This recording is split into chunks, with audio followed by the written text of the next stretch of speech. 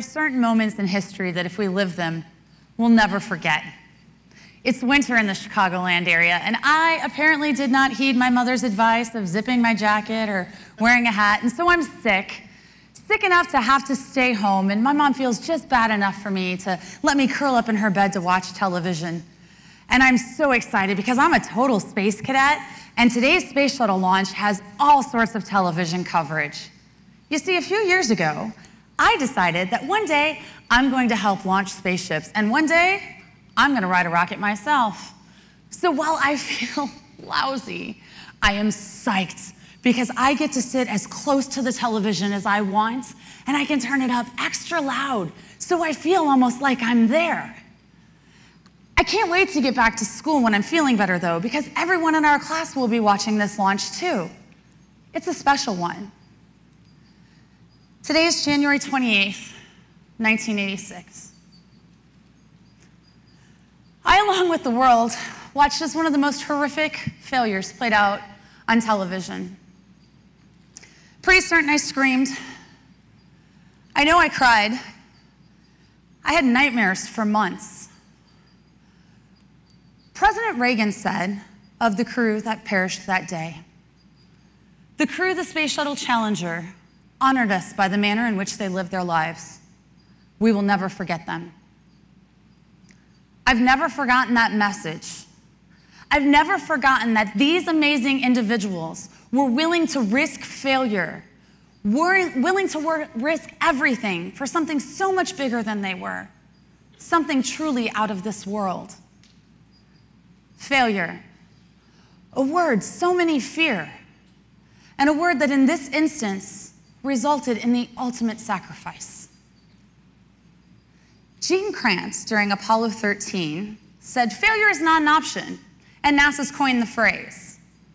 We as a society have taken it to levels that were beyond what it was ever intended. In its original context, it was meant we had to bring the crew home safely that failing to do that was not an option. But today, you can find it emblazoned on everything from mugs to t shirts to oven mitts. Okay, that one surprised me. Oven mitts? Go figure. While failure is never the desired outcome, we must not embrace this failure is not an option attitude. It's through failure that there's growth and progress in revolutionary ways. It's kind of amazing to me that the space program that's inspired so many, myself included, you might have gotten that from the dress,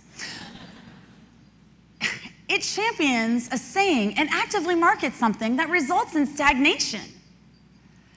Failure. Failure has to be an option. Students, especially, have to be encouraged to succeed but allowed to fail. We have to force them to get beyond their comfort zone, to do things that are scary. We encourage them to grow. How do we do that? We let them do things that are outside the envelope of how they normally operate. It's scary. It is. We live in a world that has become more and more risk averse. Even former NASA acting administrator Robert Lightfoot lamented at the 34th annual Space Symposium his concern about our current mindset towards risk. He said, I worry if we'd have ever launched the Apollo missions in the environment we're in today. Would we have ever launched the first space shuttle? Think about it. It's not rocket science failure has to be an option to grow. And so while it's not rocket science, obviously it certainly applies there too. In the early 60s, when we were trying to, late 50s and early 60s, when we were trying to develop rockets, there were a lot of failures, and some of them were quite spectacular. Has anybody ever watched the movie The Right Stuff? Please do. At the beginning, wow, you see some incredible failures. But the engineers took all of their lessons learned from each failure and integrated it into the development of that rocket. And that's what ultimately made it a success. That fail forward concept was hard at work when we launched Alan Shepard, the first American into space, on a Mercury Redstone rocket on May 5th, 1961. But today, we see parents preventing their children from failing. It's the everyone makes the team mentality, participation trophies, and gold stars for everybody. And while that's appropriate in certain circumstances, where do students learn how to cope and grow when they fail, as opposed to being beaten down? How do they learn, that, like the song says, and don't worry, I'm not going to sing it because I do not have the skills that Rachel does, to pick yourself up, dust yourself off, and start all over again? We have to encourage them to succeed, but allow them to fail. Because failure is an option, it's inevitable. Studies by psychological science have shown that there is no link between parents' beliefs about intelligence and their children's beliefs about intelligence. However, there is a link between parents' attitudes about failure and their kids' perception of intelligence. So, if a parent has a really negative attitude about failure, students are going to very quickly become more concerned with their performance than the actual learning.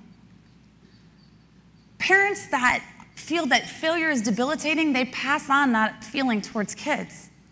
But the study also showed that when parents feel that overcoming obstacles is a great teacher and is empowering, they pass that on to students as well. So, failure. I'm going to be honest with you. It was one of those things that coming up here today, I wasn't sure how this was going to go. I thought, well, maybe that's the most poignant thing that could happen. I could fall down on my face and do a, I keep joking, I'll do a somersault and, and we'll move on. But that's what you have to do.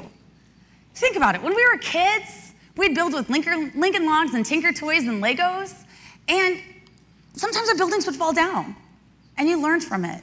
You integrated those new thoughts into the problem solving, and you start all over a little bit wiser. So, we as society need to look at these studies that were done about parents, because the reality is, we're all stewards of the next generation. We need to encourage them Luckily, right now in the space industry, we have this great commercial wave that is sweeping the industry, and we're seeing a change in the failure is not an option attitude. Space entrepreneur Chris Lewicki said, when failure is not an option, success becomes very expensive. And he doesn't just mean in terms of dollars and cents.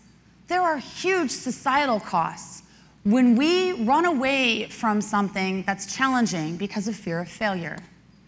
Right now, we're kind of in a new space race. There are commercial companies vying to take people like all of you into space. There's lots of new rockets and spacecraft. In fact, one flew a test flight this morning. And these entrepreneurs understand that while failure is not the desired outcome, sometimes it's going to happen. And that is how progress happen. That's how progress is made when you fail forward. Revolutionary growth happens from things like this. So the correlation between space the space program and students, are two things kids are always excited about, space and dinosaurs. So I hope that we as a community can start to embrace that sometimes failure must be an option. We must be willing to stretch. We must be willing to fly right on the edge of our envelope, as pilots say. And yes, Sometimes failure comes at a huge cost, as it did with Challenger. And failure like that is tragic and scary, especially to a young girl who has never seen failure with such dire consequences. I was very fortunate that my mother talked to me about it. We had great conversations. I think she was afraid I'd give up on my dream of space after Challenger. We as society have to have healthy conversations about failure. What does failure mean? When is it acceptable? How do we move forward? Because failure is always an option. But we only truly fail when we don't learn and grow from these experiences. So I want to encourage all of you to encourage your students, be they 8 or 80, to be willing to go out there and risk in huge ways and be willing to risk failing spectacularly. Go forth and do out of this world things.